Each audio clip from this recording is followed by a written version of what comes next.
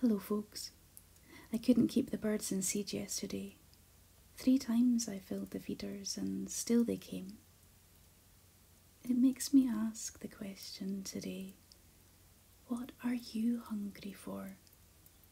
When you ponder what you hear in the news, when you look out in the street or in a child's eyes, when you listen to your inmost self, what are you hungry for today?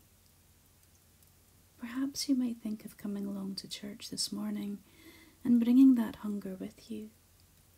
Church is where we give space and place to the hopes we hold, the fears, the longing. Church is where we discover others, different though we are, who have the same hunger we do.